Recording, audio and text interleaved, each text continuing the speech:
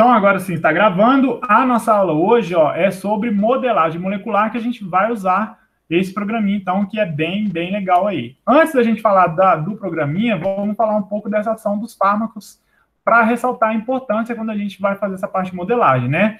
Então, fármaco, quando a gente fala de fármaco, está aparecendo farmacologia, que vocês já são melhores que eu, eles podem atuar em qualquer estágio no processo de transdução de sinais, né? Entretanto, é conveniente considerar que os fármacos atuam somente sobre os receptores separadamente daqueles que atuam em outros estágios do processo de transdução. O que, é transdução, meu povo? Quando fala transdução. Traduz aí. Hã?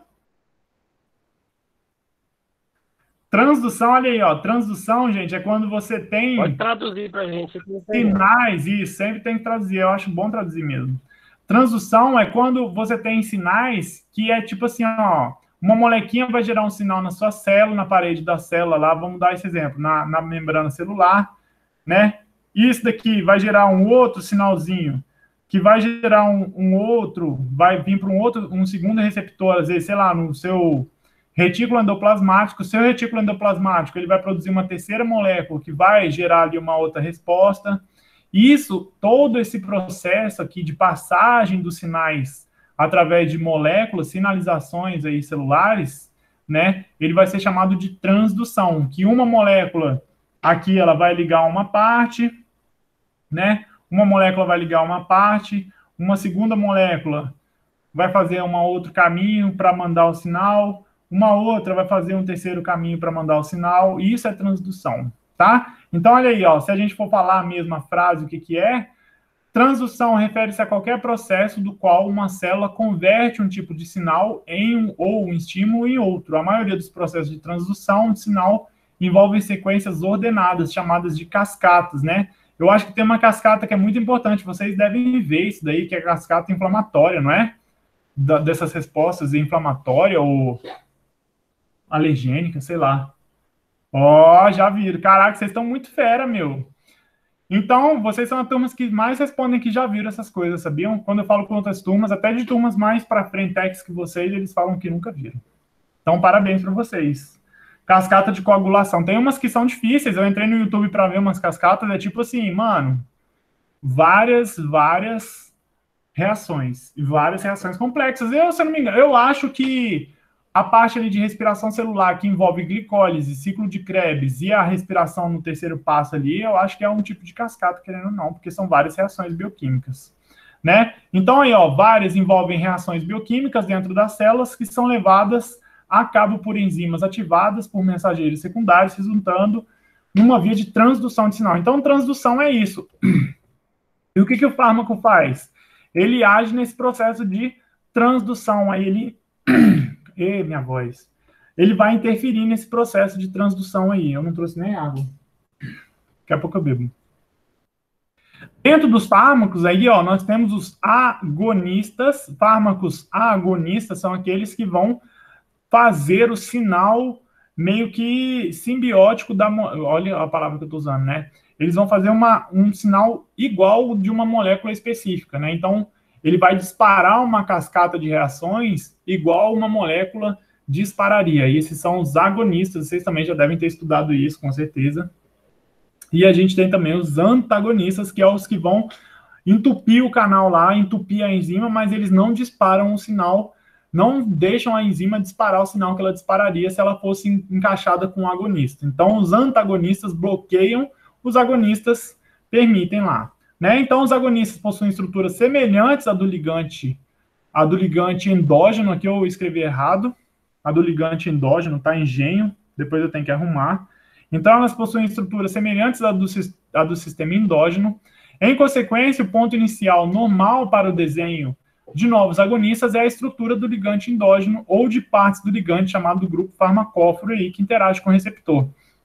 Então, a gente normalmente, quando vai criar um novo fármaco, você tem que criar esse fármaco a partir de um modelo, e esse modelo, às vezes, ele é usado, é usada a própria estrutura do fármaco que tem lá. Né? Essa informação aí, ó, ela é obtida por cristalografia de raio-x, ressonância magnética nuclear e modelagem molecular computadorizada. Esse aqui é um pouco que a gente vai mexer aí nessa parte de modelagem molecular aí, tá?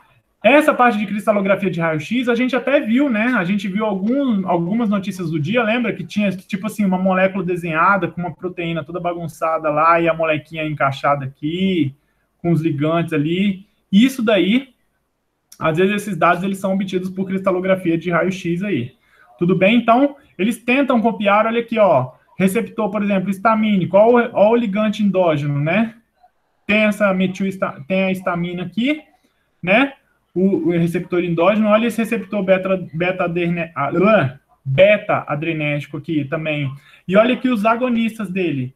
Estruturas super semelhantes. Esse aqui a diferença é que tem uma metila nesse ponto aqui, o outro tem uma metila nesse ponto 4, né? Esse daqui tem uma neopiridina aqui, ó, mas também tem uma estrutura bastante semelhante, ó, tem um nitrogênio voltado para esse lado da cadeia aqui, e tem essa outra estrutura. Então, os agonistas, eles se baseiam, as pessoas quando vão desenhar essas moléculas aqui, ó, quando elas vão desenhar essas moléculas, elas se baseiam, né, nesses, nesses ligantes endógenos para fazer esses desenhos. Aqui a gente tem outro exemplo, né, esse aqui, ó, bem parecido, a diferença é que ele tem um CH3 a mais aqui na pontinha, a isoprenalina, a terbutalina aqui também, ó, muda uma hidroxila de lugar, essa hidroxila está aqui para cima, nesse daqui normal ela estava no meio, né? E aqui também ainda tem é, dois CH3 a mais, que aqui são três CH3, aqui é um CH3 só. E essa outra aqui tem, também tem algumas mudanças aí, tá? Mas são estruturas que são bastante semelhantes, justamente para ela funcionar como se fosse a mesma molécula, como se fosse, é, sei lá, vou dar um exemplo tosco, tá? Peça de carro, você vai lá, tem a peça original e você pode comprar a peça de carro meio que diferente, pirata ali, mas que vai funcionar da mesma maneira. Mas não é igual, não é a original, não é a que vai se ligar, não é a mesma molécula. Tá? É importante se lembrar que muitos agonistas possuem estruturas que não são diretamente semelhantes às dos ligantes, né? Não são semelhantes, não é sempre a mesma cópia, às vezes as pessoas fazem modelagem e criam esses novos aí. A natureza dos grupamentos não é o único fator estrutural que influencia a atividade do agonista, então não são só os grupos funcionais que a gente vê na química orgânica. O que, que ele tem que ter também? Ele tem que ter aí, ó, dimensão e conformação corretas. Então, ele tem que ter dimensão e tem que ter conformação correta para conseguir encaixar no espacinho. A gente sabe, vocês sabem mais que eu, que aquele sistema chave fechadura, eles são muito específicos e o fármaco tem que ter o mesmo tamanho para se ligar ao receptor lá.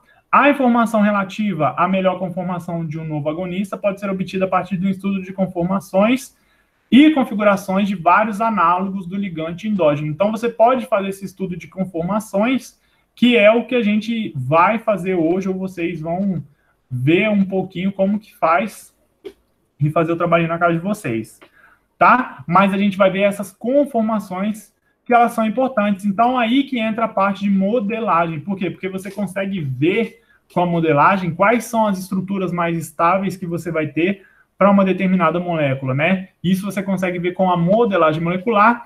Para a gente fazer esse trabalho de modelagem, que a gente iria fazer, por exemplo, no computador, na sala de computação lá na FASPLAC, a gente vai usar a molécula de acetilcolina, né? Essa molécula aí, ela tem a capacidade de desencadear um monte de efeitos biológicos, né? Vários efeitos biológicos, principalmente é, sinalização de canais iônicos aí, essa parte aqui de, de, de sinalização de, de cargas, né? Transdução de sinais é feito pela acetilcolina, acetilcolina que vai fazer uma, uma carga passar de um neurônio para o outro, né? Uma carga elétrica passar de um neurônio para o outro. É, e decorre de sua interação em diferentes receptores. ela interage em receptores nicotínicos e receptores aí muscarínicos do sistema nervoso autônomo. Grupos farmaco farmacofóricos, igual a gente falou, devem adotar arranjos espaciais distintos para interação tanto dos nicotínicos quanto dos muscarínicos. E isso que é legal na, na acetilcolina, né? Ela consegue agir nesses dois, mas se você for criar um, um, um, um agonista, você vai ter que é, ter conformações diferentes, né? Como que uma mesma molécula vai ter, então, essa interação nas duas aí? Só para a gente situar, isso daí eu acho que vocês já sabem, mas é sempre bom também a gente ficar pontuando, né? O que, que são receptores nicotínicos? Eu peguei lá da nossa Wikipédia. Os receptores nicotínicos, e até um ponto legal que eu não sabia, ó, são canais de membrana, são canais iônicos na membrana plasmática de algumas células, cuja abertura é disparada pela acetilcolina, igual a gente falou, que faz parte do sistema colinérgico. O seu nome devi, deriva do primeiro agonista seletivo encontrado para esses receptores, que é a nicotina extraída do tabaco. Então, os receptores nicotínicos, eles têm esse nome por causa da nicotina. Eu achava que, sei lá, meu, era só uma mera semelhança, mas é por causa disso mesmo. Não sabia. E o primeiro antagonista seletivo descrito é o curare. O curare, ele, a gente vai ver, vocês vão ver no semestre que vem comigo, o curare é aquele veneno que os índios colocam na flecha, né? Morre. Da zarabatana para para acertar os bichinhos ou para pescar, e ele é um veneno que ele causa paralisia muscular, justamente por quê? Porque ele bloqueia, ele é um antagonista, ele vai bloquear, né, a, a, a esses canais iônicos aí, e, e a sua sinalização de, de contração muscular vai ser paralisada. Depois disso, a gente, vocês ainda vão ver também bioquímica, bioquímica em produtos naturais que a galera usava curare para fazer cirurgia e foram vendo que o curare não adiantava muito, foram inventando uns novos medicamentos parecidos com o curare, mas ele é um medicamento que ele é um alcaloide e que causa aí paralisia muscular, por isso que a, que a presa fica parada, o peixe boy e o, e o, e o índio consegue pegar a presa aí, ou o macaquinho lá que ele matou, para poder comer, e esse curare ele passa com o tempo, né, o, o, o macaquinho ou o peixe que ele foi, foi atingido com uma flecha com curare, ele não fica envenenado, porque senão o índio ia comer veneno e ia morrer com, com o tempo.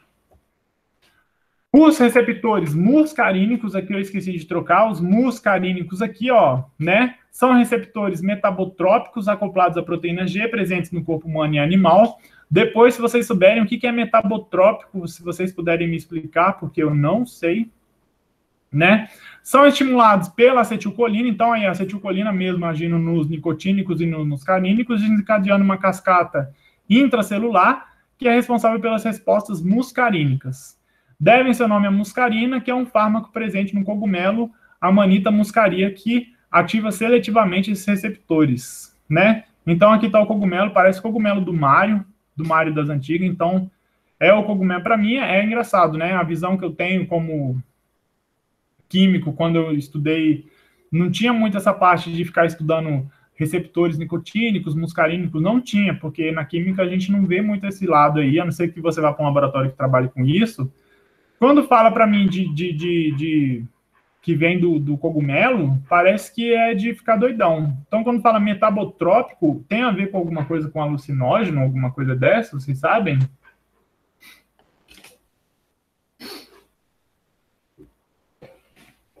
Alguém sabe? Pô, esse, essas respostas muscarínicas, o que, que são essas respostas muscarínicas? Assim, se fosse falar de uma maneira bem resumida, assim, se eu pudesse melhorar essa aula para colocar respostas muscarínicas, as respostas muscarínicas são, por exemplo, uma resposta muscarínica que o seu corpo tenha que sirva para você, sei lá, se beneficiar, sem ser alucinógeno. Tem? Existe?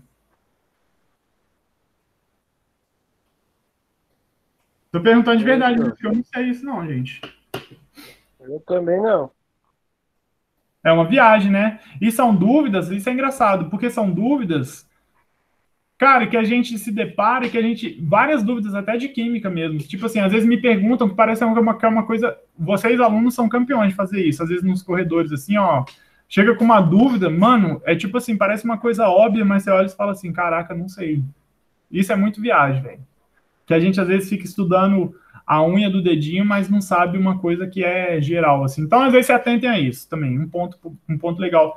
Se atentem, às vezes, quando vocês estão lendo e, e procurando essas traduções, igual eu coloquei ali, transdução, fase de covalescência, que são frases e são termos que vocês vão usar e que são coisas fáceis da gente dar uma pesquisadinha ali, tá?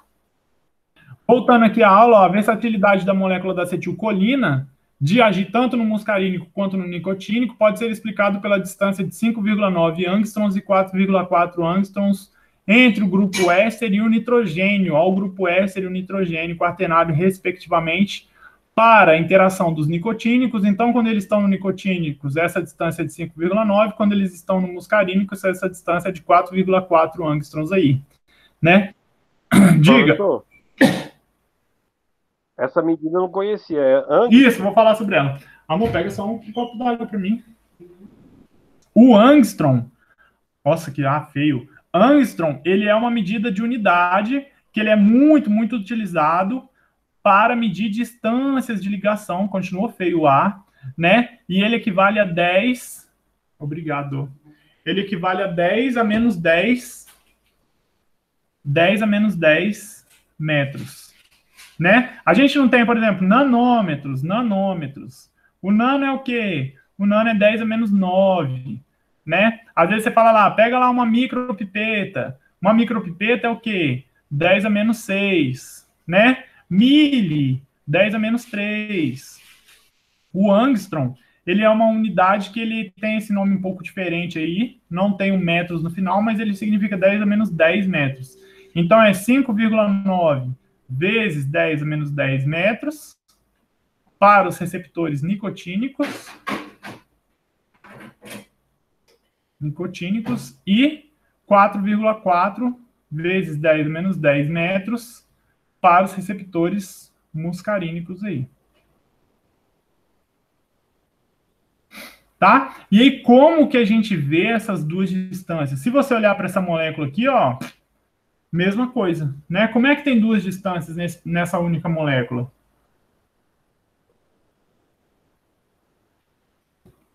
E aí a resposta, ó, pode ser explicada por essa distância interatômica aí, ó, observada para interação, aqui, isso aqui já está escrito, né? A distância está relacionada diretamente com a conformação da molécula, né?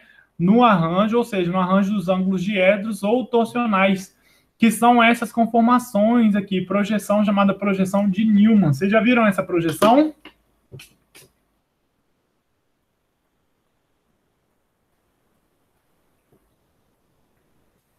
Não? Não, Não mesmo. Vou explicar para vocês, então é bom que a gente até use um pedacinho da aula para explicar. Ó, a projeção de Newman, deixa eu dar um zoom aqui que a gente é chique à distância. Projeção de Newman é como se você observasse a molécula. Deixa eu explicar desenhando assim, ó. A gente desenha a molécula nesse ângulo assim, né? Um carbono aqui, um carbono aqui nessa pontinha aqui, tá? Você vai olhar a molécula como se fosse desse jeito aqui, ó. Você vai olhar a molécula nessa situação. Você está olhando ela assim, com um carbono na frente do outro. Vou mostrar no programinha para vocês verem. E aí você fica com ligantes aqui, ó. Esses ligantes eles podem ficar um na frente do outro, um para frente, um meio de ladinho, um para cima, quer dizer, para frente, o outro um pouquinho para baixo, um para cima, um pouquinho, o outro totalmente para baixo. Tem esses ângulos que são chamados ângulos diédricos. E a, e a ideia dessa aula é justamente entender essa questão desses ângulos diédricos aqui, e essa questão de energia.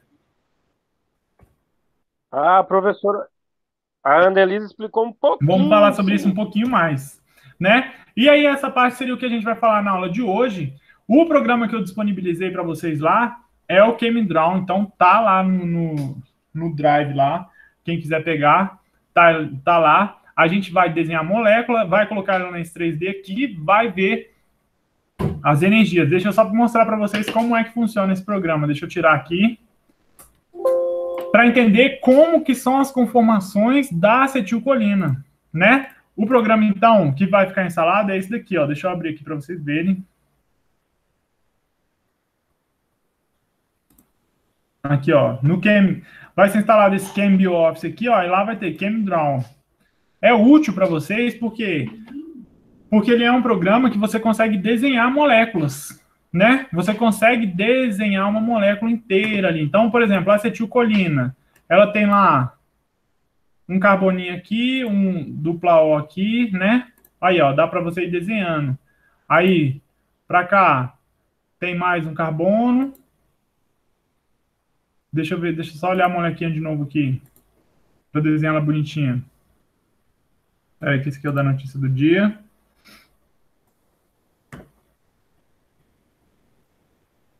Isso, nitrogênio. Aqui tem o nitrogênio. Então, para vocês, esse programa é legal porque vocês conseguem desenhar moléculas, desenhar as molequinhas. Tá vendo? Ó, ele te fala se tem alguma coisa errada na molécula. Ele fala assim, ó, esse nitrogênio aqui, ó, tá vendo que tem um vermelhinho? É porque tá errado. Então, você vai, vocês já iam colocar o quê? Uma carga positiva, porque ele tá com, com uma ligação a mais. Aqui tem um oxigênio, um outro oxigênio aqui. É, isso daqui é a molécula de acetilcolina. Exatamente ela aí, bonitinha. E você pode fazer o quê? Olha lá que legal. Isso daqui é super útil para vocês da orgânica. Você pode selecionar ela, colocar na estrutura aqui, ó, e colocar aqui, ó, para converter a estrutura para o nome. Ele te dá o nome da molécula aí, ó. 2-acetoxi-NNN trimetil amina, amínio, né? Porque tem essa carga positiva. Ei, professor, por que, que você não deu você... É, imagina, vocês iam dar nomenclatura de todas as moléculas, porque a molécula que você quiser colocar, tipo assim, ó, vou criar uma molécula aqui, ó. Sei lá, colocar aqui, ó, um, um, um ligante aqui, só dar um exemplo para vocês. Um ligante aqui com OH aqui, ó. Seleciona a molécula aqui, ó, e coloca aqui, ó, convert structure to name, ó, 2-metil-butanol. Viu? Ele dá o nome de todas as moléculas que você quiser. E se você quiser também a molécula, você pode colocar o nome aqui, ó, sei lá, colocar uma molécula aqui, ó, flavona. Flavone. Aí, ó, ele desenha a molécula já pela alguma, ele tem várias moléculas que ele já sabe o nome usual aí. Fala o nome do medicamento aí. Fácil, o nome do medicamento fácil. Isso. Aspirina. Aspirina. Deixa eu ver se ele fez. Aspirina.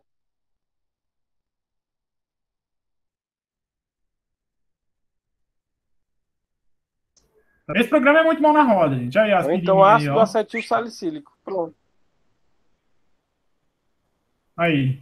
É, esse daqui é aspirina. Deixa eu ver se ele tem o ácido acetil salicílico. Enfim, esse programa para vocês. Vou colocar S para ver se ele sabe. Mas o ácido acetil salicílico é o mesmo. Mas o ácido acetil salicílico, ácido ele não... Ah, é mas aqui ele está fazendo uma ligação diferente aqui, hein? Ah, não, aqui. Mas não pode, é para ser o mesmo. Não, calma aí. Sabe por que, que eu falei que não é o ácido acetil salicílico? Porque aqui ele tem um ácido. E aqui ele tem um grupo acetila mesmo. Mas é porque ele está ligado aqui, tá vendo? O ácido que eu conheço, deixa eu ver se eu consigo pegar uma molécula aqui. Não, mas, por exemplo, você pega o AS, o medicamento AS e a aspirina. Sim, tá lá, já ácido, uma composição que ele tem a mais. Olha aí, a gente já está divagando da, da, aula, mas deixa eu procurar aqui. Só para mostrar para vocês o... Imagens, imagens. Hum. Olha a publicação, ó. Uma aqui na Wikipedia, que deve ter a molécula.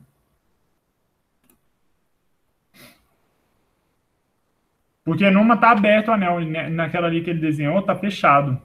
Aqui, ó.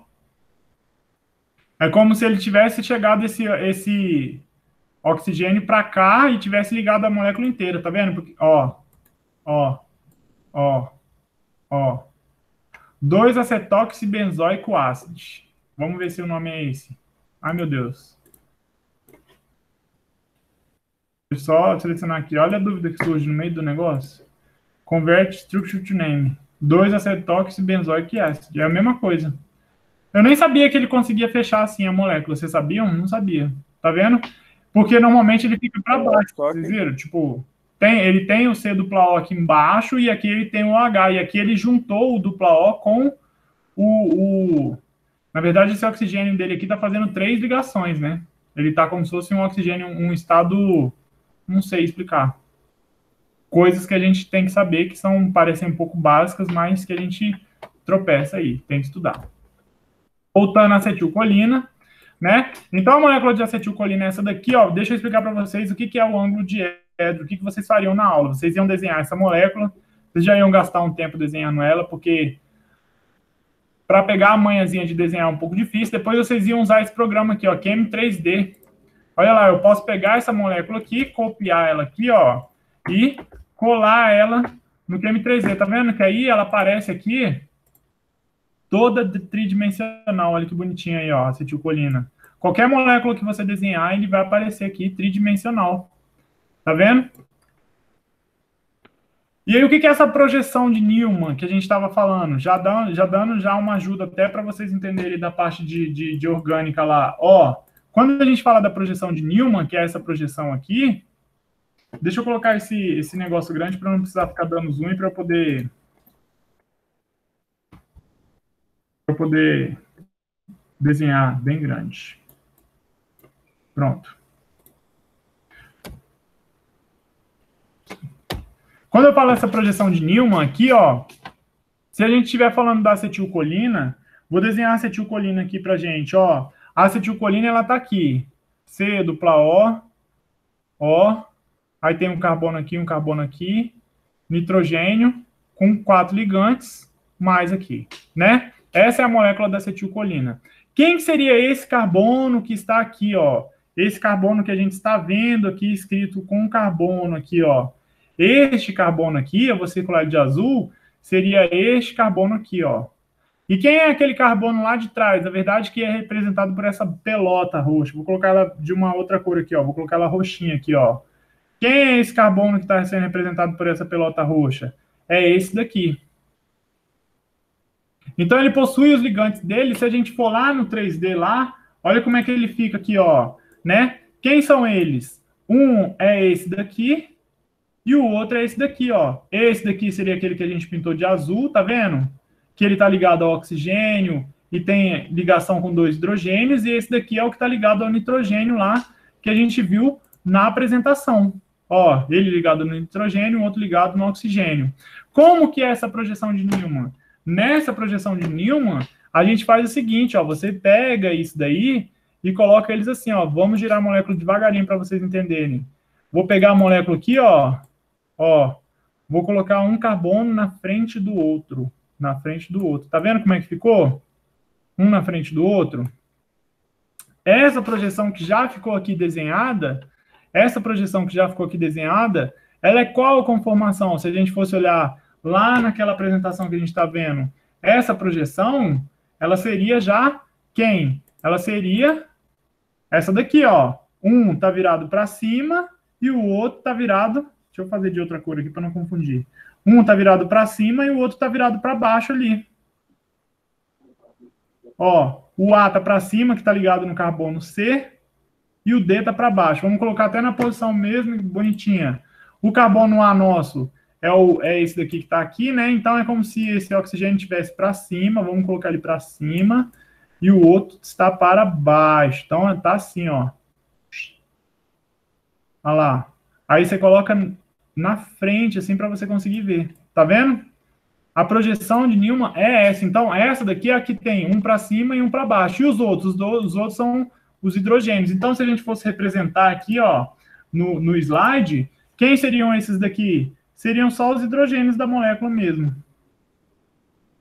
O A aqui seria quem? O A seria o O ligado com o dupla O ali. E o D aqui seria o nitrogênio quaternário. Essa que é essa posição. E aí a gente consegue mudar esse ângulo diedro. O que, que é esse ângulo diedro aí?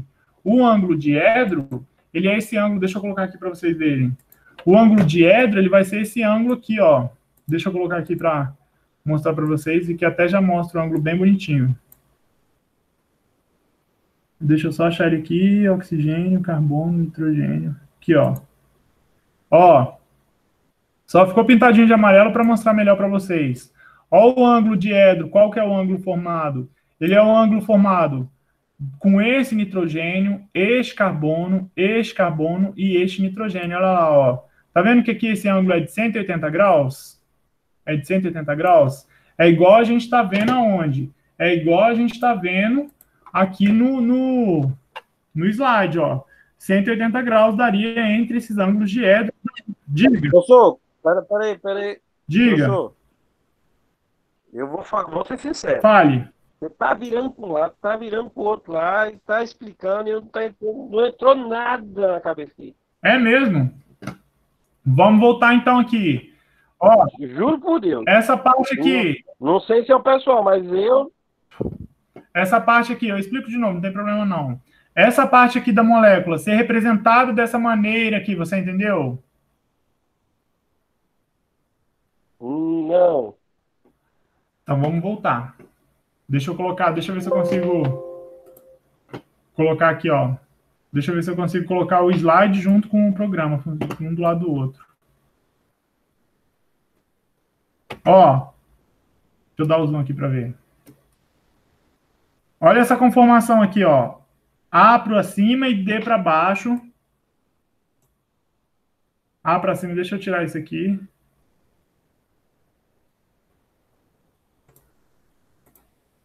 A para cima e D para baixo. Olha lá, vou colocar a molécula de lado aqui. Quem que é o átomo que eu estou chamando de A? Quem que é o átomo que eu estou chamando de A? Não, de C, pelo menos. Esse C aqui, esse carbono aqui, ó. Este carboninho aqui.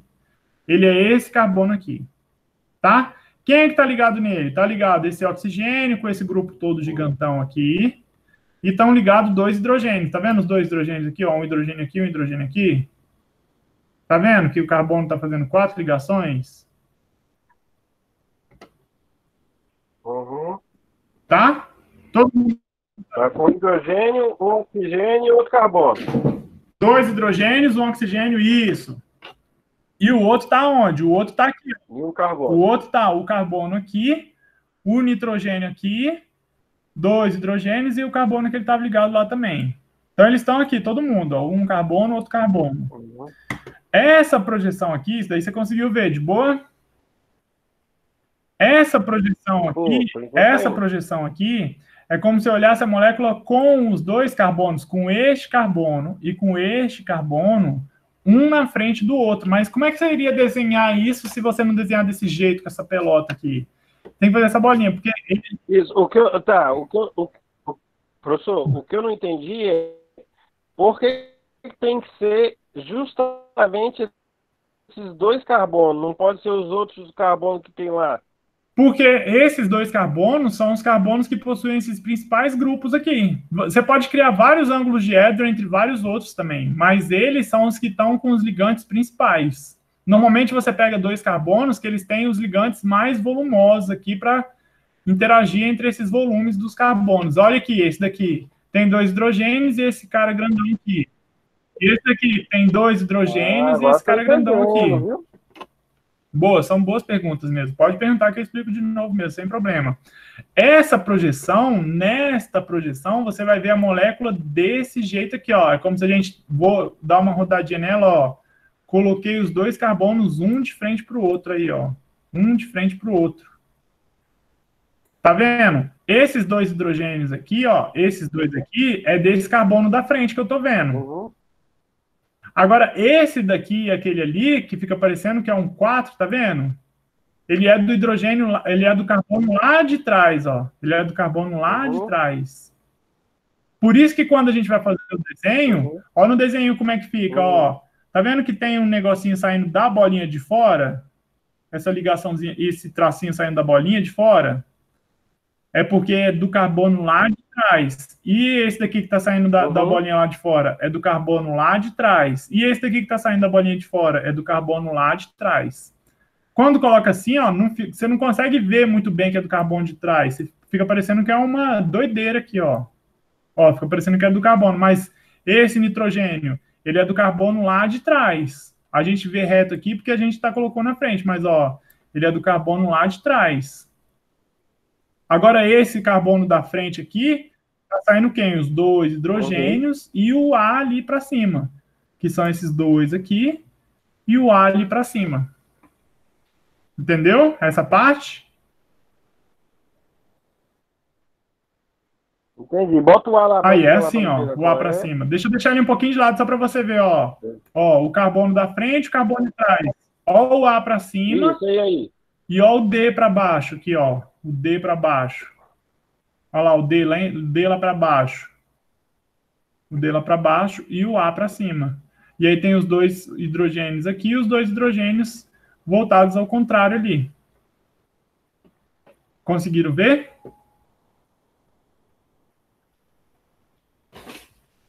Viram? Então, ó, tem, o C, o, C, o carbono, o carbono esse C vai aqui. ser esse aí, o da frente, né? Isso. Isso. Aí o D. Não. O carbono D. O D é não é um carbono. Aí. O D já é esse ligante aqui, já é esse negócio grandão aqui, já é a ligação do nitrogênio. O carbono de trás, ele não está aparecendo, ele não aparece nesse desenho. Porque nesse desenho um carbono fica na frente do outro. Ah, tá. É o que eu tô falando, é como se a gente estivesse vendo assim, ó. Uhum. Cadê o carbono de trás? Ele não aparece. Quem que tá aparecendo aqui? Esse. Tá, mas aí os dois. Aí. Uhum. Esse carbono da frente, que tem esses dois pretinhos aí, são os dois hidrogênios. Isso. E o A seria o oxigênio. O A seria todo esse grupão de. Aí lá atrás. O hidrogênio aqui, o hidrogênio aqui, hidrogênio aqui, hidrogênio o aqui. A é todo grupão. Aí o, o hidrogênio aqui e todo o grupão lá de trás. E todo o grupão lá de trás, tá vendo que fica lá? E a letra D é o grupão o todo. Grupão todo nitrogênio mais o restante. Isso, isso o grupão todo lá para baixo e no carbono da frente aqui o grupão todo para cima, ó. O grupão todo para cima e no outro grupão todo para baixo. Entendeu? E aí quando a gente fala de ângulo, isso, esse ângulo, ele vai ser formado por esses, esses quatro caras aí, ó. Pelo grupão, carbono, carbono, grupão. Que é esse ângulo que aparece aqui, ó. Tá vendo? 180, deixa eu deixar um na frente do outro que vai aparecer bem bonitinho, 180. Ó. Olha lá. Os 180 graus. Tá vendo que eles estão a 180 graus mesmo? Um tá para cima e um tá para baixo. Olha lá, ó. Se colocar assim dá para ver melhor ainda, ó. Ele cria um plano aqui e um plano aqui, para cima e para baixo. 180. Ah, aí já não tá olhando os carros. Mas aí não tá olhando aos, é o, carbono, é, tá olhando essa grupo. são desses quatro, tá vou pintar os quatro. É, são esses quatro aqui. Um ângulo de edro, ele não é formado só por dois átomos, é, ele é formado por quatro átomos. Ele é esse ângulo que é formado. Eu vou mudar para você entender como é que está formando. Você viu esse 180 aqui, né? Grava na sua cabeça, ó. Vou mudar de 180, uhum. vou colocar aqui. Vou colocar 90. Vamos pela metade. Uh, travou, peraí que travou. Para nossa tristeza, o programa está lindo. Aí, pronto, voltou. Vou mudar aqui, ó, é a entrada 37. Volta aqui, cadê? Aqui, ó, 90. Vou colocar 90. Olha lá como é que vai ficar. 90. Olha o ângulo agora como é que ficou. Deixa eu tirar aqui a corzinha deles. Ó, no 90, olha lá o ângulo, aonde que está o ângulo mesmo. Só deixar assim só para você ver o ângulo. Do carbono da frente com carbono lá de trás. Tá vendo que agora está 90 graus? Está aqui, aqui, aqui, ó. 90 graus. Você consegue ver 90 graus aqui, ó lá 90 graus. Né? Uhum. E se a gente fosse fazer o desenho desses carbonos? O carbono que está na frente está com o grupo A para cima de novo, e o carbono que está lá para trás, ele está com um grupo aonde? Na verdade, esses 90 graus não ficam. Vou botar um ângulo que é real, que eles ficam mesmo. Eles ficam a 120. Ele eles ficam a 120. Vou botar 120. Fica assim, ó. Olha lá, aumentou um pouquinho lá. Ó, o grupão está para cima, o grupo do carbono da frente está para cima, e o grupo do carbono que está lá atrás está para onde? Está para o lado. Então é como se fosse esse daqui agora, ó. Como se fosse esse desenho aqui agora, ó. Esse daqui, ó. O grupo do carbono tá para cima e o do carbono lá de trás, o grupo grande está onde? Tá um pouco pro ladinho lá, ó, um pouco pro ladinho, meio que quase na frente desse hidrogênio aqui, ó. Tá vendo que ele tá quase na frente do hidrogênio? É essa conformação, então. Ó, os dois hidrogênios, tem dois hidrogênios aqui meio próximos, o do carbono da frente está junto com o do carbono de trás lá, ó. Conseguiu ver?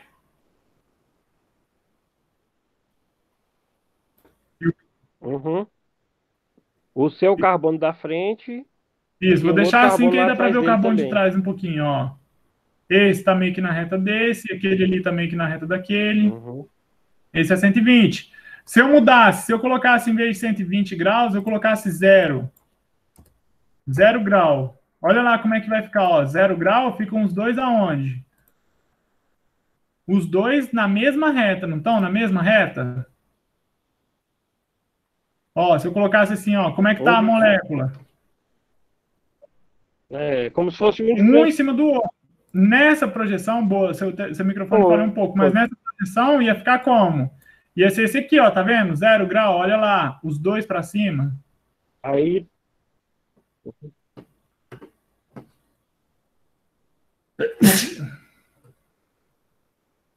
Olha os dois para cima lá. Falhou seu microfone, Maurício, a hora que você foi falar.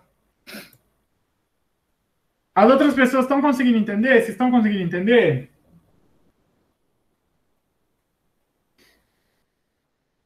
É, deixa eu pensar se o povo também está entendendo. Será que estão? Não, estou entendendo.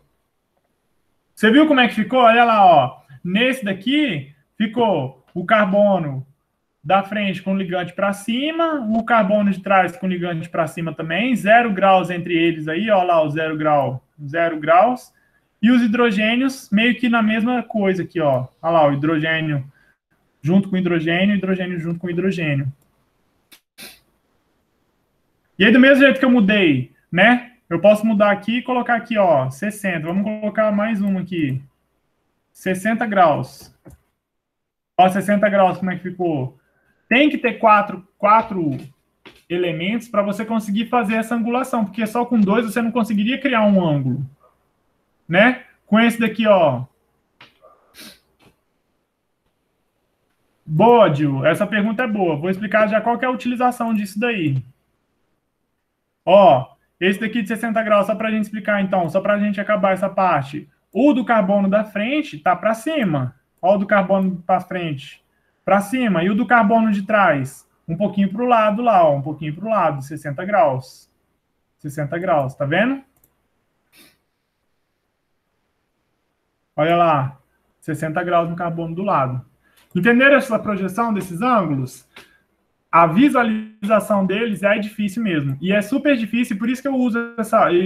Eu coloco essa lá para vocês mexerem, para vocês mexerem com a molécula 3D, para vocês começarem a criar essa visão de molécula 3D. Primeiro, porque vocês têm que ter um pouco isso, porque o encaixe da molécula num, numa enzima, num, numa fechadura, ele vai ser dado pela forma, pelo formato da molécula. Então, isso já é importante, né? O formato da molécula. Olha como é que a molécula fica diferente. Vou deixar aqui, né? Nesse ângulo aí de, de de 60 graus. 60 graus. Olha, se eu pegar, deixa eu ver se eu consigo colocar. Não, não vou colocar outra, não. Vou, vou mudar. Olha como é que fica muito diferente. Vamos colocar 180 de novo. Olha como é que a molécula muda o seu formato, muda o seu tamanho, mais ou menos, né? Então ela conseguiria, às vezes, travou o programa. Ela conseguiria, às vezes, encaixar num espaço que outras moléculas não se encaixarão não se encaixariam nesse ponto aí. Tudo bem? Qual que é a utilização disso que a gente vai fazer hoje, assim? O que, qual que é a ideia de fazer hoje, né? O caso, o caso aqui. Tá? Então, aqui o ângulo 180. O que que acontece? Quando a gente tem essas moléculas, e a pergunta do Gil foi boa aí, que ele falou, qual é a utilização disso? a utilização é essa, né? A molécula ela tem os encaixes e ela vai mudar muito o tamanho, né? A proporção dela, olha o tamanho dessa. Ela está praticamente toda esticada. Se eu mudar para zero ali, ó, se eu mudar para zero, ela vira praticamente uma, uma, uma coisa menorzinha, assim. Então ela se encaixaria em outro sítio diferente daquela quando ela está numa angulação de 180 graus. Aonde que a gente encaixa a físico-química nesse ponto aqui, né?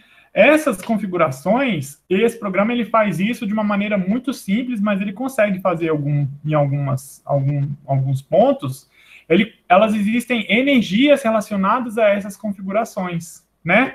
Por exemplo, vamos calcular essa energia dessa angulação de zero graus Celsius aqui, de zero graus Celsius, de zero grau, que está um em cima do outro, né? Vou rodar lá a energia, colocar aqui, ó, para calcular. Isso daqui eu ia ensinar tudo vocês a fazer, mas então não tem como ensinar, eu vou só mostrar como é que fica a energia. Tá? Olha aí, ó. Ó, tá vendo? Ele vai mudando. Ah, aqui ele tá mudando o ângulo inteiro, que eu selecionei a molécula toda. Daqui a pouco eu mudo de novo. Deixa ele calcular nesses 60 graus aí. Ó, a molécula tá se contorcendo toda aí. Por quê? Porque eu deixei o programa ir para a menor energia que ele conseguisse.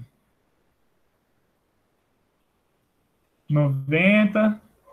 Deixa ele acabar esse cálculo rapidinho, gente. É porque eu não queria que ele mudasse, queria que ele calculasse no zero. Ele vai mudando, tipo assim, esse programa, o que, que ele vai fazendo? Ele vai mudando as, os átomos de lugar e calculando as energias até chegar numa menor energia possível. Então aqui ele colocou. Trouxe a molécula inteira, né? Colocou ela meio que 80 graus aí, ó. Deixa eu colocar para cima aqui. 80 graus, mexeu todos os átomos. Eu não quero que ela mexa todos os átomos, não. Deixa eu zerar, voltar. Isso, estamos aqui. Zero grau, é a situação inicial, tá? Vou colocar aqui, ó, para ele calcular de novo. Essa energia aqui. Olha aqui.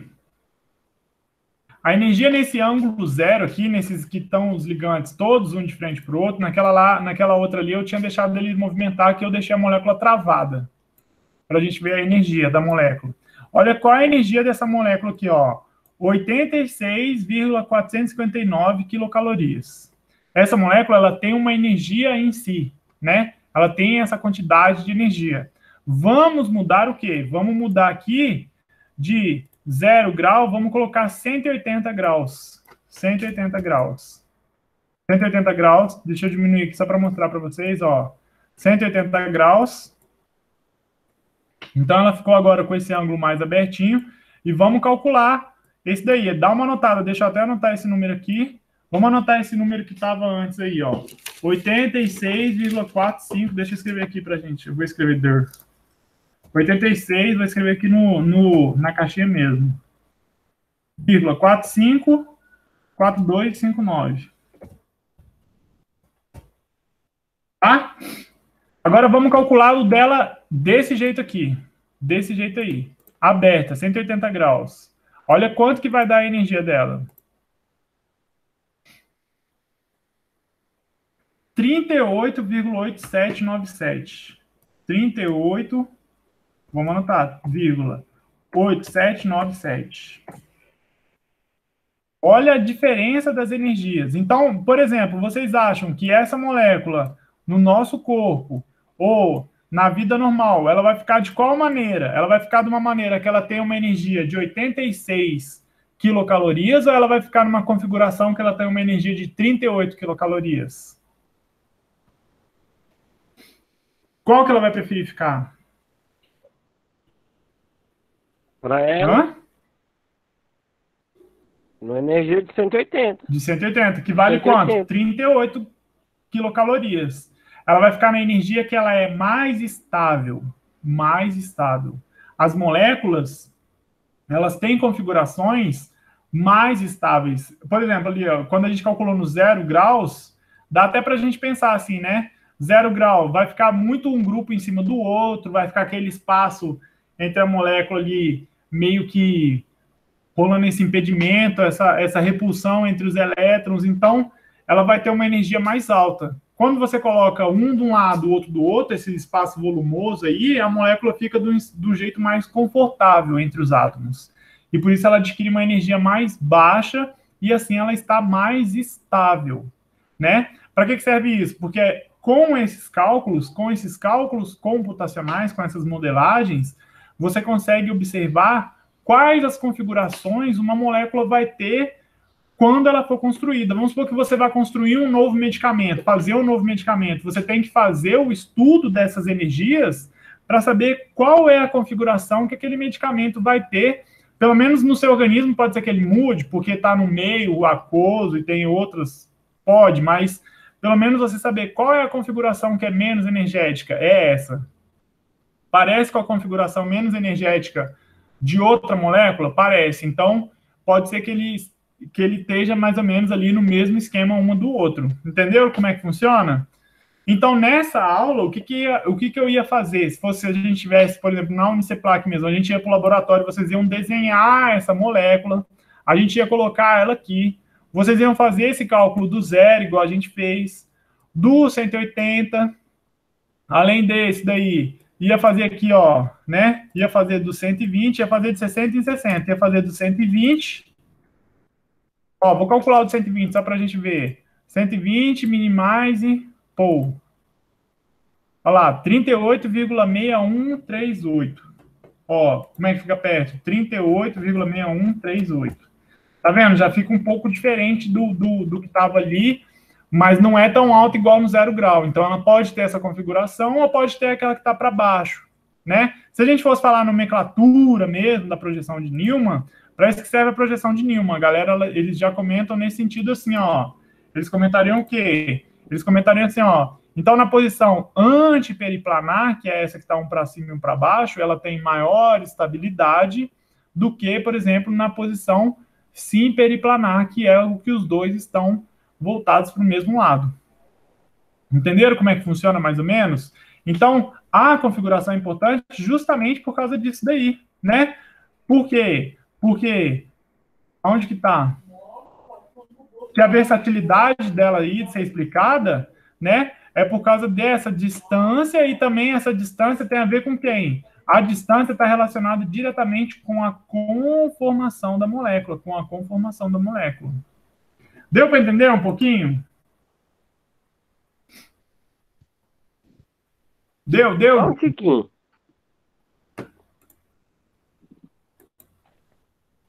A ideia da questão, o como que é importante, e para isso que usa. Quando, eles, quando a gente vê na, na notícia do dia, né? Quando a gente vê na notícia do dia aqueles aqueles desenhos lá que eu colocava, não sei se tem uma outra aqui na mão, mas que os caras colocam um desenho das moléculas, como é que as moléculas estão com as proteínas, lembram? Se for de modelagem molecular, ele é calculado dessa maneira. O cara desenha a molécula, coloca ela lá e calcula essas energias para saber quanto de energia que vai ficar. E aí a molécula, se você deixar, igual a gente deixou aqui, né? Se eu deixar a molécula toda Professor, nada, diga. Então, para a molécula ser mais estável, para molécula ser mais estável, ela hum. tem que ter menos energia ou é mais menor energia? energia possível, menos, menos. Natureza sempre morra abaixo. Quanto menor energia, mais estável. Quanto menor energia, mais estável. Tá? Nem tanto que, por exemplo, se você pegar uma dinamite, você tem coragem de pegar uma dinamite, botar no carro quente e ficar balançando, sacudindo ela? Não tem. Por quê? Porque ela é instável. Ela tem muita energia? Ela tem muita energia, dinamite? Tem, né? Um pouquinho de dinamite vai pipocar você, o seu carro, vai todo mundo para os ares. Porque ela tem muita energia intrínseca nela. Ela tem muita energia em si. Se a gente desenhasse a dinamite aqui e calculasse a energia, não sei quanto, como que ficaria, se seria questão de uma molécula só fazer essa, essa relação de energia, mas a instabilidade está relacionada a uma maior energia sempre tá? Outra coisa aqui, ó, igual os caras fazem lá, a gente aqui travou a molécula. Daquela hora que eu rodei, se a gente deixar, ó, né, alguns programas eles vão procurar na molécula quais são os ângulos melhores para a molécula. Então ele pode mexer a molécula inteira, ó. Se eu deixar, é, tipo, é, porque eu não deixei, mas se eu deixar, ela vai movimentando cada átomo, tá vendo que ela vai mexendo cada átomo, o programa vai mexendo. Ó o ângulo mudando, ó ele vai dando uma torcida, por quê? Porque ele vai tentando encontrar, ele mexe, calcula, mexe, calcula, mexe, calcula, mexe, calcula, ele vai tentando encontrar a menor energia que essa molécula vai ter. Então ele vai mexendo e calculando, vai mexendo e calculando, vai mexendo e calculando até encontrar esse ponto certinho de, de energia que a que a molécula tem menor. Olha ele terminou. Quanto que ficou a menor energia? Olha a diferença, 15,2521 quilocalorias eu, eu deixei todos os átomos se movimentarem. Aí ele vai movimentar tudo, ele vai movimentar desde o, desde o, dos hidrogênios, dos carbonos, desses, dessas. Mas, ó, nessa angulação de 180, a gente tinha encontrado movendo, só esses dois átomos. Quanto que a gente tinha encontrado até? 38. 38. 38. Agora eu deixei ele movimentar todos os átomos. Olha quanto que ele encontrou: 15,25. Na verdade, quando a gente encontrou 38, a gente não mudou o ângulo do oxigênio, desse carbono com os hidrogênios. Agora aqui ele mudou, então ele encontra ainda uma situação mais favorável ainda, né? Ele deu uma giradinha ali, não sei quais foram os detalhes. E daí a gente teria que comparar uma molécula com a outra para a gente ver. Mas ele consegue fazer, então, esses cálculos de minimização de energia. E os computadores, eles fazem. Hoje em dia tem, tem laboratórios né? E eles são da parte de fisicoquímica mesmo, de, de, de modelagem de fármacos. Por quê? Porque você economiza muita grana sem precisar por fazer um fármaco em si. Você consegue fazer o quê? Você consegue desenhar um fármaco. Sim, esse programa, esse programa Cindio, ele faz isso de uma maneira muito simples. Ele faz, existem várias complexidades, tipo assim, é como se ele fizesse isso usando uma conta de soma. Existem contas que são supercomputadores que tem que resolver, mas a, a, ideia do programa é a mesma. Ele sempre vai procurar uma, uma conformação, exatamente, que vai ter uma menor energia. E aí, o que, que esses caras fazem? Eles desenham várias moléculas de várias, mudam ligantes e tudo mais, e vão vendo qual conformação que ela tem menor energia. É, é, é uma conformação que parece com a do, do, do ele se encaixaria no receptor endógeno lá, ele parece com a molécula endógena produzida, você economiza muito dinheiro. Então, quando as pessoas vão desenvolver novos medicamentos, elas, os medicamentos, eles passam por esse processo de modelagem molecular para calcular essas moléculas, a conformação que elas têm menor energia, quanto de energia que elas têm, né? Como que vai ficar, se é estável, se não é instável. Às vezes você acha que a molécula vai ficar assim, a molécula fica assim. Então, vai funcionar? Se, ela só, se o, o ligante só é desse formato aqui, se você faz essa molécula e a menor energia dela é assim, ela não vai encaixar lá no seu receptor. Então, o cara nem sintetiza isso. Entendeu? E a ideia de hoje, para a criação do fármaco, é total importante, porque ele vê quais as conformações da molécula têm uma menor energia. Claro, aí eles levam em conta até, por exemplo, se você vai colocar um solvente no, no, no, no na molécula, quando a molécula está solvatada, é diferente. O que a gente está vendo aqui é a pontinha do iceberg de como que, o, que se fazia, como que se faria uma modelagem molecular. Mas saibam que quando tem esses desenhos nos, nos artigos e tudo mais. Tá. Mostro... Eu Diga. quero o manual desse programa. Eu quero, manu... eu quero o manual desse programa em português. Ah, aí é difícil de achar, hein? Eu estava conversando até, eu estava mostrando para um aluno meu hoje, orientando ele do TCC que ele está terminando, né? Que ele comentou assim, ó, ai, não dá para, não dá para, para colocar um outro ligante desse daqui no, no, não dá para colocar um ligante desse no, cadê, cara? Informações básicas, tutorial, ligações. Porra. Deixa eu achar aqui.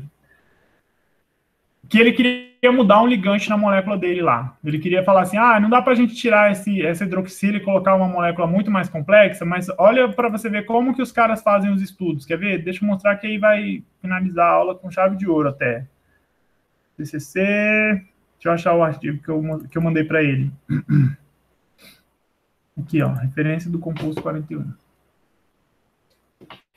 Ó, nesse artigo aqui, o cara está criando um medicamento contra o vírus da dengue, tá? Só, só para a gente mostrar um exemplo aqui.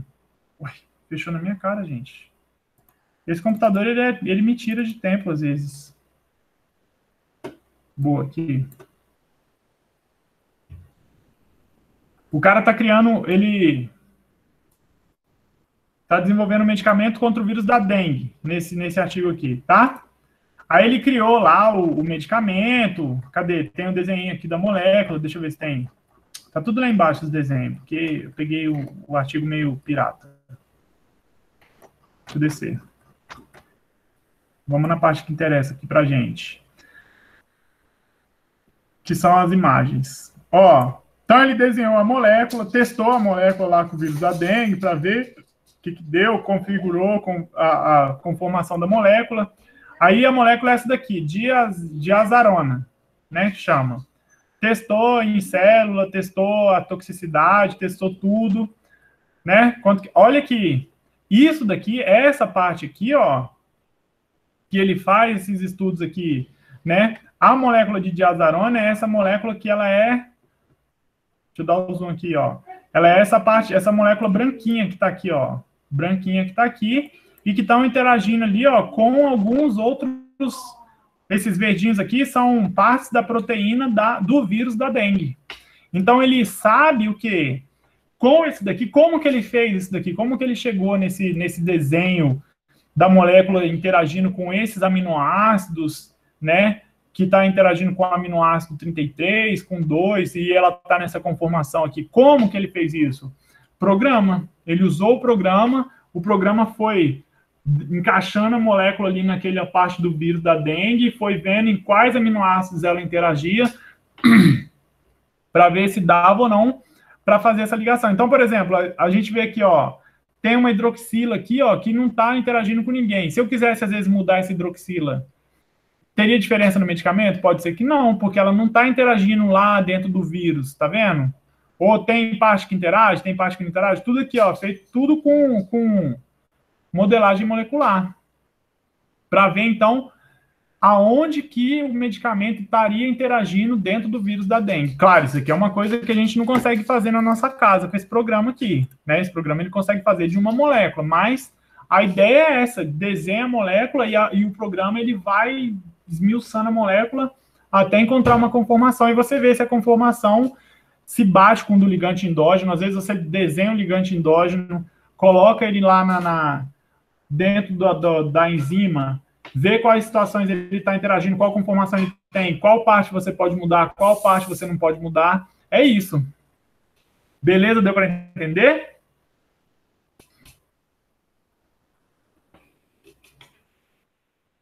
Deu, só tô com medo de. de casa, super, super simples. O que, que eu ia pedir para vocês fazerem? Se a gente estivesse na sala de aula, né, lá nos computadores, vocês iam fazer isso no computador, cada um com computador, iam lá botar. Na verdade, quase que não dá tempo de desenhar a molécula, porque não consegue fazer ligação, mimimi, mas enfim, o que, que vocês vão fazer? O dever de casa de vocês, eu fiz uma tabelinha aqui, ó. Deixa eu ver se eu acho ela aqui já.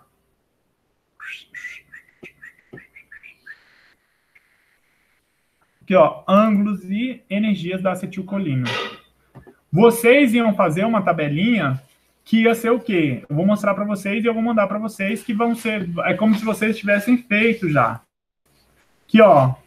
Vocês vão fazer, iam fazer esse daqui, ó, do ângulo. Quando o ângulo está 180, qual a energia que deu quando minimizou? Tanto. Ângulo 120, qual a energia que deu quando minimizou? 26. Ângulo 60, né? Deu 77. 22. 0, 34.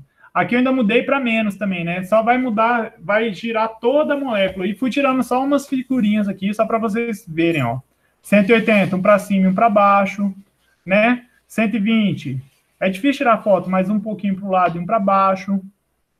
70, quase os dois para baixo. Zero, olha o zero aí, ó, que a gente tinha visto, zero graus. Né? O que, que eu ia querer? O que, que eu quero que vocês façam aí? Só você, que vocês comentem, o trabalho vai ser esse, que vocês comentem quais os ângulos da acetilcolina têm as menores energias, né? E por que que vão gerar essas menores energias? Ah, é porque o espaço entre os átomos, ele, ele, a molécula fica mais espaçada, né? Ou a repulsão entre os pares de elétrons. E, se possível, se vocês construírem, se vocês conseguirem, fazer um gráficozinho como se fosse assim, ó. Deixa eu botar aqui para vocês. Então é super fácil. Na verdade, o que daria mais trabalho é vocês construírem essa tabela. Eu estou dando a tabelinha e pedindo só para vocês comentarem em quais ângulos a acetilcolina vai ter menor, as menores energias. E também comentar essa questão também, né? Que a molécula vai ter uma menor energia. né, a molécula vai preferir ficar nessas conformações de menor energia, então é provável que ela tenha essas conformações mesmo na vida real. Só isso. Deixa eu. Travou. Peraí, deixa eu mostrar para vocês.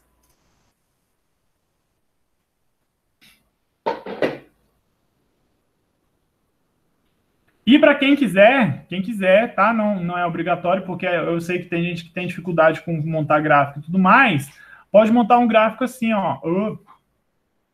Pode montar um gráfico. Professor, você colocou lá anticlinal mais, eh, colocou seis imagens, que é anticlinal mais, anticlinal menos. É, eu fiz todos. Eu fiz todos esses daqui, ó. Deixa eu botar aqui. Uhum. Eu fiz todos esses. Aqui ele tá mudando de 160, então ficou assim, ó. Ficou como se fosse assim, ó. Zero aqui, 60, 120, 180. Aí aqui é como se fosse assim, ó, menos 120, menos 60 e zero de novo. E construir um gráficozinho, se vocês quiserem construir, né? Construir um gráficozinho aqui, assim, ó, de energia e ângulo. Aí coloca aqui, ó, coloca o ângulo zero aqui, coloca o ângulo 60 aqui, menos 60 aqui, menos 120 aqui. Aí aqui 180, né? 180 vai ter de um lado só, na verdade. Menos 120, 180. Só para ver, tipo assim, ó, no zero, ele tá lá em cima de energia, no 60. Ele tá com uma energia um pouco mais baixa, no 120. Mais baixo. Não, mas não seria menos. Hã? Não seria menos 180, não seria mais 180 do outro lado, não é menos? É porque é menos 180 e mais 180 está na mesma posição, né? Não tem 180. Pode, pode até quando for fazer o gráfico, se quiser fazer, né? Colocar só assim, ó, coloca assim, ó, zero, porque os, os resultados são bem próximos. 0, 60, 120 e 180. Não precisa fazer o negativo, não, porque os resultados são semelhantes demais. Tipo, é, é quase espelhada a molécula, né? 180. É, o, Aí, o 180 e o 0, por exemplo, ele é uma imagem especulada da outra. Aí é o 60 não, e o menos 60 ó, também. É, não, 180 e o 0 é totalmente diferente. Ó, o 0 ele está com o negócio aqui para frente, aqui, ó, os dois para cima. O 180 está um para cima e um para baixo. O 60 e o menos 60, ah, tá. que um tá o A e o D e o outro tá o A e o D. Tá vendo? Esses daqui ah, que parecem. Aí, sim, aí você... Parece Isso, uma imagem especulada da outra. É, então a, a, a, energia deles até, ó, se a gente olhar a energia, olha lá, 120, 26, vamos olhar no menos 120, 25, 75, 22, menos 75, mais 77, 22, tá vendo? É bem próximo. Então, pode construir só o positivo se quiser. Aí vai ficar assim, ó, 60, o zero tá lá em cima, o 60 tá um pouquinho aqui embaixo, menos 120 tá aqui, e 180 está um pouquinho aqui. E aí debater, ó, ele prefere ficar nessa posição, é uma posição que o fármaco, que, que moléculas, é, essa molécula ela vai tender a ficar nessa conformação, provavelmente um, uma distância das ligações aí, né, que falou lá, a gente comentou aqui, ó, de 5,9 e 4,4, provavelmente uma dessas angulações vai ter essa distância de 4,4, a outra vai ter a distância de 5,9, uma dessas energias menores, por isso que ela vai ter, então, ela consegue se encaixar aí nos receptores muscarínicos e nicotínicos. Acha essa distância de 4,4 aqui até que é tranquilo, a gente até conseguiria pelo programa. Agora, de 5,9 é um pouco mais difícil, então não precisa muito entrar na questão da distância. Só comentar o quê? A questão dos ângulos com as energias.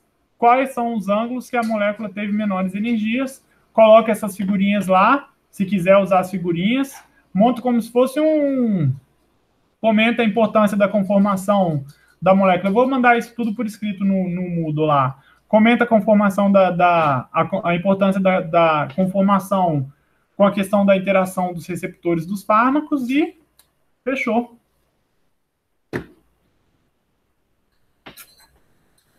De boa? De boa. Hoje foi, foi pau, hein, velho? Foi coisa. Foi. Vamos dormir. Durma, durma com essa da notícia do dia, tá, Maurício? Que agora você vai saber que as pessoas que são. Como é que é? São assintomáticas, elas não têm muita resposta de anticorpo. Como pode? É. é o contrário do que todos esperávamos. Gente, tudo bem com vocês? Tá bom? Tá ótimo? Fechou sexta-feira? Heineken? Heineken, tudo jóia. Gostou de. Dormir. o dia... Olha, o dia eu falei Heineken, o dia já colocou Anne.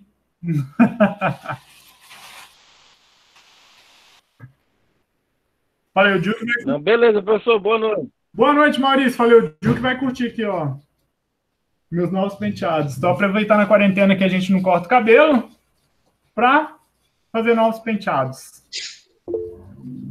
Falou, Antônio. Professor, não esquece de postar os slides junto da atividade, por favor. Claro, vou postar, vou postar. Pode deixar, Isabela, sem problemas. E vou postar também a atividade explicando mais ou menos o que vocês têm que fazer. Boa noite, Anne. Boa noite, professor. Tchau, tchau. Até. Até mais, galera. Fui.